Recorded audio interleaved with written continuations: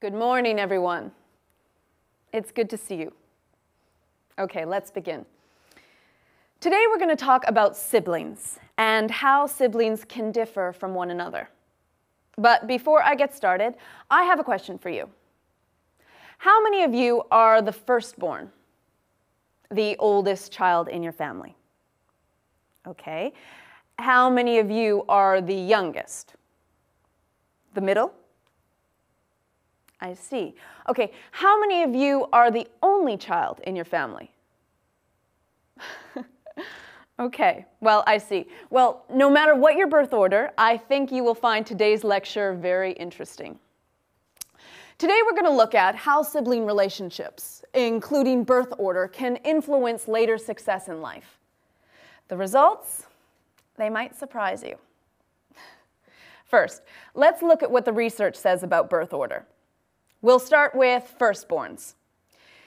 It turns out that firstborn children are often very successful. So the firstborn children are often very successful. Let's look at some of the statistics. 50% of all US presidents were firstborn children. 45% of all the female world leaders between 1960 and 1999 were also firstborn. And 21 of the first 23 astronauts were firstborn. Impressive, isn't it? It gets better. Other research indicates that, in general, when compared to their younger siblings, the oldest children in the family are more educated, are smarter, and they earn more money. They have larger incomes. So the firstborn are more, have more education, they're smarter, and more income. A recent study looked at a group of people born between 1912 and 1975. The researchers found that regardless of family size, oldest children tend to be more successful. Similarly, only children also tend to be very successful. In contrast, younger siblings in a family tend to get less education. For example, fourth-born children are likely to get about one year less education than their eldest sibling. So the youngest gets less education. And it turns out that middle-born kids, I mean, those born between other siblings, they may have the biggest disadvantage, especially in large families. Studies of families uh, in the US have found that compared to first or last born children, middle children are least likely to receive financial support for their education, and they are least likely to do as well in school. So the middle child gets the least education. In fact, with the birth of a third child, so when the parents have a, a third child, the middle child's chances of failing in school increases seven times.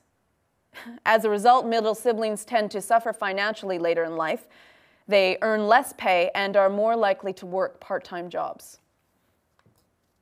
So the middle child makes less pay. These are some dramatic differences, aren't they? So what accounts for these disparities between siblings? Let's look at some possible reasons.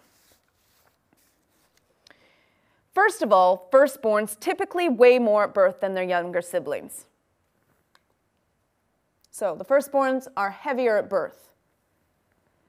A higher birth weight is a good predictor for educational success. So um, higher birth weight means that the mother was eating well during pregnancy you, you understand what I mean. Another possible reason for the firstborn advantage is that the oldest and only children spend more time alone with their parents, time when their parents don't have to care for other children. So the firstborn and only child spend more time with their parents. So what does this mean in practical terms? Firstborn and only children, they get more attention, more mental stimulation, and more constructive feedback from their parents.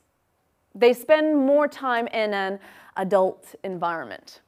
So this can help them to not only succeed in school, but also to develop the confidence and the problem solving skills that will help them to be higher achievers as adults. Parents tend to have higher expectations of their firstborn and only children, and they expect those kids to achieve more. So parents have higher expectations of their firstborn and only children. These expectations might help them to be more mature um, and to have a greater sense of responsibility. All right, so in contrast to this, middle children grow up in an environment where they are surrounded by other children. They have to compete with other children for their parents' attention and for the family's economic resources all the time, from the very first day. There is simply less adult attention and money to go around for middle children. So the middle child gets less attention and resources. Youngest siblings, on the other hand, especially if they are much younger, often receive more attention and resources than the middles because the older siblings are growing up and they are more independent. They need less of their parents' attention, so the youngest child gets more. So the youngest child receives more attention and the resources later. Now, before you all start cheering or crying, I want to present some other ideas on the topic. Just hang on. Many experts are skeptical about giving birth order so much credit for the differences between siblings. When it comes to money, for instance, the truth is there are large economic disparities between siblings in the US. In fact, Only 25% of the income inequality in the US comes from the economic differences between families.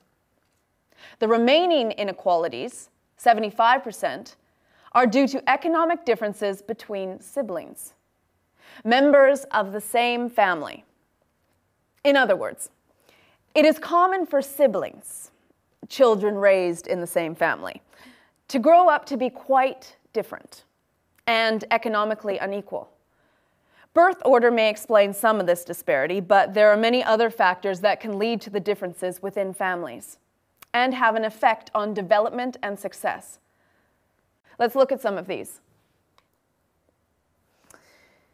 One factor that can have a big effect is gender. A number of studies have looked at this. The difference between how parents treat boys and how they treat girls is significant. Parents tend to allow their sons more independence. They assign them fewer household chores, and they don't criticize them as much as their daughters. Fathers, for example, usually spend more time with their sons and are more involved in their activities and schoolwork than they are with their daughters. This can certainly lead to a differing expectations and levels of success for boys and girls don't you think? Okay. Of course, another big factor is genes. Biology. All of us are different individuals. Some children will just be smarter, or they will inherit traits that will help them to be successful later in life.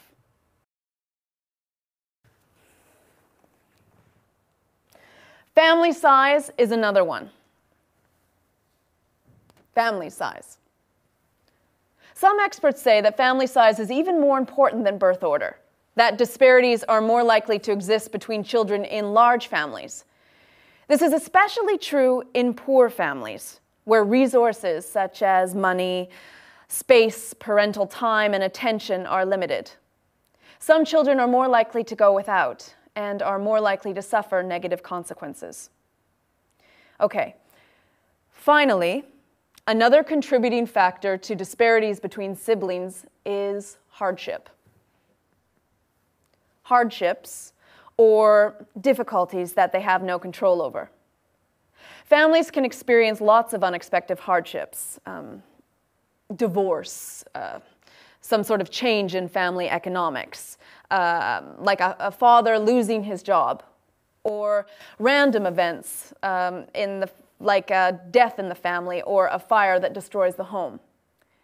These events can affect different siblings in different ways, and they can have a huge effect on the future success of a child. Okay. Well, that is a lot of information, so I'll stop for today. I hope those of you who are younger siblings don't feel too discouraged about all of this. And remember, these are only trends and certainly don't account for the uniqueness of individuals or the unique standards within every family.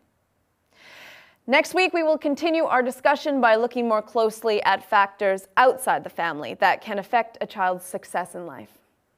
Okay, I'll see you then.